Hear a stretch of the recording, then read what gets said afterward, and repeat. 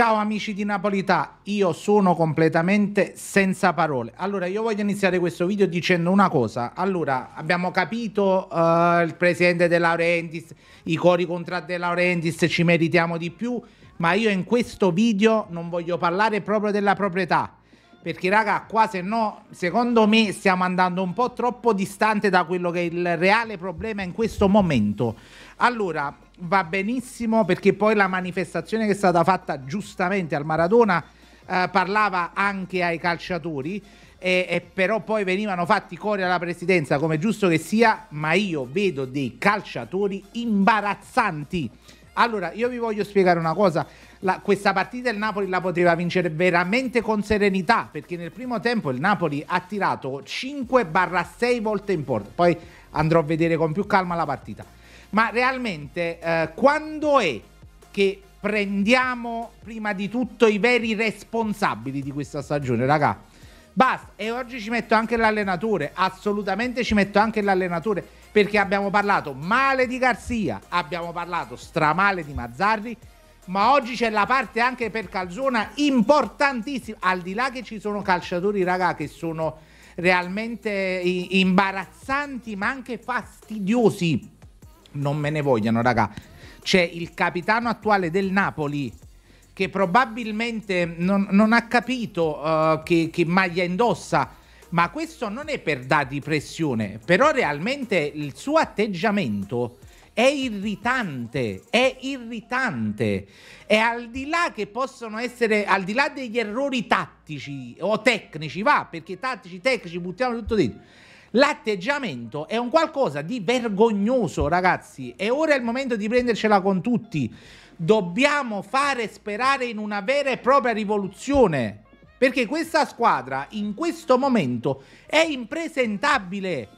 Non riesce mai a capire quando sta per prendere gol. Raga, il secondo gol io non ne voglio proprio parlare.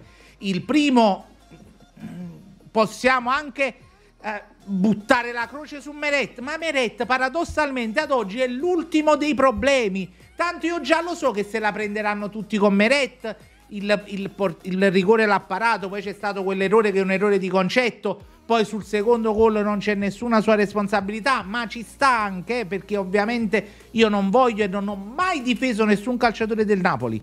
Ma raga, però attenzione a non andare solo sul portiere perché ci sono state prestazioni imbarazzanti. Victor Osimen 130 milioni, ah, va bene, ma non si può sbagliare un gol del genere. Non si può avere un primo tempo con quell'atteggiamento. Cioè, io devo vedere un primo tempo giocato discretamente dove l'unico che accende la spia è Politano. E poi Kvaraschelia, sì, noi vogliamo parlare male di Kvaraschelia, ma se la palla lì non ci arriva mai. Nel primo tempo abbiamo visto che giocando a destra anche Di Francesco ha spostato il suo difensore dall'altro lato proprio perché si sviluppava solo di là. Perché non andare di qua? Perché questa squadra non gioca da squadra. Ragazzi, è questo quello che ha detto anche Calzona nel secondo tempo. Eh, scusatemi, nel post partita sono in completa confusione. Raga, questi calciatori devono andare via. Via li amiamo, li adoriamo, dietro di me uno scudetto che non dimenticherò mai, ma basta, non possono far più niente per il Napoli, niente, zero. È un atteggiamento irritante di tutti, nessuno escluso, anzi voi nei commenti potete dire la vostra, ma basta dare alibi a questi calciatori, ci hanno fregato per tutta la stagione, basta, siamo alla 32esima. Voglio perdere 5 a 0 con l'Empoli, ma nessuno di questi deve giocare titolare. Nessuno, manco Osimen, nessuno. E andiamo su Calzona. Mister, ma tu se stai ma veramente sul 2 a 2 col Frosinone, sto pure affogando, tu metti Caiust. Ma stiamo scherzando. 2 a 2 in casa col Frosinone. Ma metti tutte le. Metti Raspadori, Simeone. Metti tutti. Io odio l'arrembaggio. Però basta, mister, basta. Non si può, non è accettabile. Non è accettabile, io lo so benissimo perché c'è esperienza del calcio che un gol, un pareggio, un risultato cambia la storia di un club. Ma uh, i, mes- i, i segnali sono stati troppi quest'anno allora ma, ma rimaniamo il martire, quello che deve essere attaccato 24 ore al giorno, che Aurelio De Laurentiis, ma non ci discostiamo tanto da quella che invece è la verità assoluta, che è quella che questi calciatori non sono adeguati se vuoi avere una squadra con ambizioni, qualsiasi loro siano. E oggi lo hanno dimostrato ulteriormente.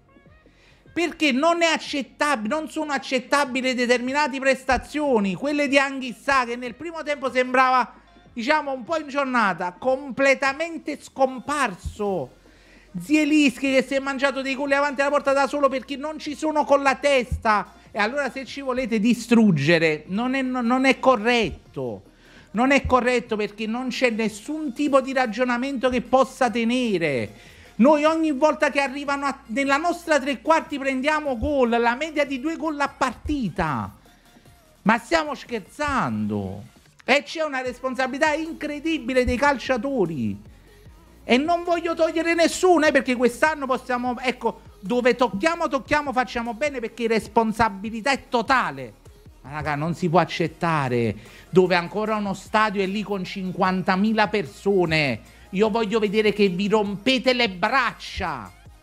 Vi rompete le gambe. Invece no, no, sempre prestazioni con sufficienza sempre perché forse avete preso come unico responsabile la proprietà, come unica responsabile. Allora ve ne frega, fate giusto il... Io vedo di fare il compitino.